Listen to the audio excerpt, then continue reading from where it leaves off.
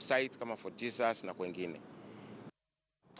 Huku kaunti ya Mombasa na viunga vyake ikipambana na tatizo la utovu wa usalama haswa uhalifu unaotekelezwa na wahudumu wa bodaboda, polisi kaunti ya Mombasa wamepiga marufuku matumizi ya bodaboda nyakati za usiku. Mtazamaji, uamuzi wa kamanda wa polisi ukanda wa Pwani Noah Muvanda umetokana na malalamiko yaliyotolewa ama kupokelewa na idara hiyo ya usalama, ingawaji alikuwa mwepesi wa kusema kwamba sehemu hiyo iko salama, hususan wakati huu wa msimu wa sikukuu. Muvanda ameongeza kwamba uhalifu umekuwa ama wahalifu wamekuwa wakitumia huduma za bodaboda kutekeleza uhalifu wao. Kisa cha karibuni zaidi ni watu watatu waliouawa katika mtaa wa Shanzu huko Kisauni, Mombasa mapema leo.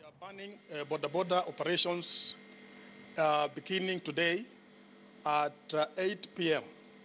They should be not be on the road uh, during that time because we found that we found that uh, thugs are taking advantage of uh, border border operations